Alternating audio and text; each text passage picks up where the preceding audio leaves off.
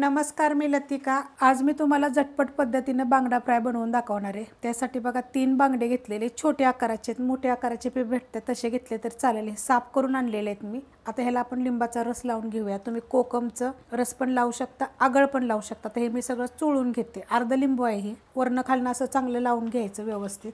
लावून घेतलेलं आहे. तर ह्याला पंधरा ते वीस मिनटं आपण असं ठेवून देऊया. वीस मिनटं झालेले आहेत बघा. तर तुम्ही ह्याच्याबरोबर ना मसाला पण लावून ठेवू शकता. नुसतं असं लिंबाचा रसच नाही. मसाला पण लावला तरी ठेवलं तरी चांगलं लागतं चवीला. अर्धा चमचा तांदळाचं पीठ आहे. अर्धा चमचा रवा आहे. थोडीशी हळद घेतली. एक चमचा मिरची पावडर फक्त मिरची पावडर आहे. अर्धा चमचा गरम मसाला पावडर आणि अर्धा चमचा जिरे धने पावडर. आता हे सगळे एकत्र करूया आणि ह्याच्यामध्ये चवीनुसार मीठ टाकायचं. मिक्स करून घ्यायचं चांगले व्यवस्थित. आणि ह्याच मसाला तुम्ही लिंबाबरोबर जरी मच्छीला लावून जरी ठेवला ना तरी चालेल. फक्त पीठ लावू नका. पीठ आणि रवा लावू नका. फक्त मसाला लावून ठेवा. मिक्स करून घेतले बघा अशा पद्धतीत होतं. तुम्ही फक्त बारीक रवा पण लावू शकता आणि ही पण तांदळाचं पीठ पण लावू शकता. त्याला चांगलं भरून घ्यायचं. जसे ह्या चिरा पाडलेले आहेत का नाही ह्यातनं असं चांगला मसाला भरून घ्यायचा. मच्छीला बघा सगळीकडून मी लावून घेतलेला आहे. तवा गरम करत ठेवला त्यामध्ये आपण तेल टाकून घेऊया. आणि तेल असं चांगलं पसरून घ्यायचं सगळीकडे व्यवस्थित असं. आणि तवा गरम झाला की नाही की गॅस बारीक तरी करायचा नाही तर मिडियम तरी करायचा. त्याच्या आपण असं ठेवून घेऊया. अशा पद्धतीत बघा सगळं लावून घ्यायचं आणि बारीक गॅसवर एकदम भाजून घ्यायचं एकसारखं. क्रिस्पी भाजायचं एकदम.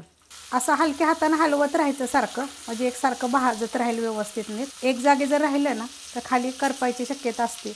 मी लोखंडाच्या तव्यात बी कच्ची मच्छी भाजायची ती पण मी तुम्हाला दाखवलेली आहे. खूप साऱ्या बांगड्याच्या रेसिपी आहे ती रेसिपी बघितली की लाईक आणि कमेंट करायला विसरू नका. रेसिपी क कशी वाटली ती तुम्ही कमेंट करत नाही. आता आपण याला पलटी करून घेऊया. बघा अशा पद्धतीत बघा किती कडक झालेलं आहे. त्यासाठी काय करायचं एकदम बारीक तरी नाही तर मिडियम तरी करायचं. अशा पद्धतीत बघा पलटी करून घ्यायचं. मस्त असं होतं. तुम्ही हातानं वगैरे उचलू नका मला सवय असल्यामुळं मी करते भाजल बिजल आता हे पण ह्याच्यावर एक पाच मिनिट बारीक गॅसवर ठेवणार आहे. बारीक गॅसवर बघा पाच मिनटं झालं ठेवलं तर आता हे आपण तुम्हाला दाखवते. बघा किती कडक झाले ते एकदम क्रिस्पी कुरकुरीत एकदम होतात.